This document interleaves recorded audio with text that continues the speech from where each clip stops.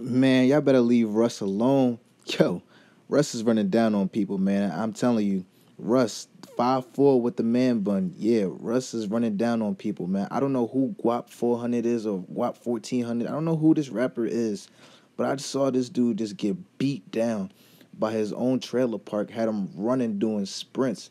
Listen, if I see a Russ's security guard and they're like six eight, looking like Zion Williamson, I'm getting the hell out of there, bro. I don't got time for me. I, am about to turn into a trap star. Meet, meet, meet, meet. Like I, I don't got time to be getting my ass whooped like that by some brawlic ass niggas. But listen, Russ is running down on people. He's sick of y'all disrespecting him using.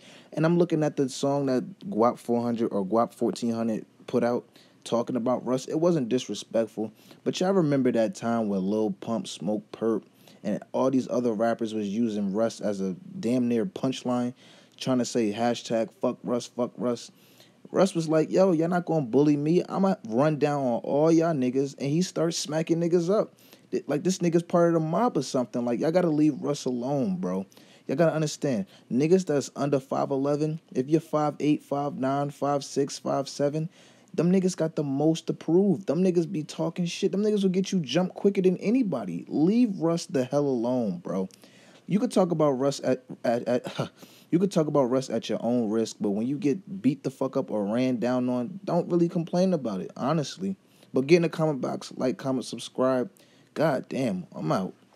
About that 4,000. And I got an altercation with you, Russ, from New York.